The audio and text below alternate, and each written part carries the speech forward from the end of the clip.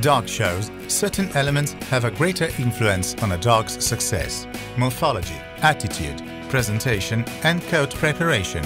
In preparing the coat of a dog destined for a show career, it's necessary to have proper knowledge of the specific characteristics of length, texture and color of the hair and about eventual restrictions in grooming.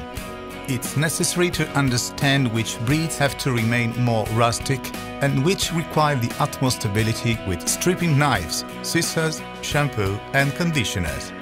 Some types of coats, even long ones, can be prepared for a dog show just by washing them the night before. Some others, like rough coats, need to be stripped regularly throughout the year, and some others need meticulous daily attention.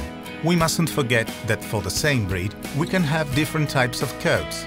We could say that every dog has its own type of coat. So only working on each dog will you find the best techniques and products for obtaining the best results. In optimizing the grooming of a show dog, one must try to achieve your own ideal vision of the breed, understanding the morphology of your dog, what he is and what we would like him to be, observing the present condition of his coat, keeping in mind its future. This signifies putting your own personal signature, respecting always and in any case what the breed standard requires.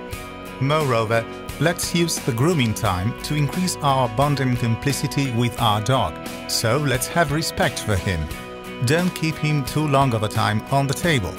Let him sit or lay on his side and avoid irritating his skin or eyes caused by brushing him too harshly, or with hot hair, or by using too many unnatural products. Rough and smooth collies have accompanied Roberta Semenzato since her beginnings in official dog shows.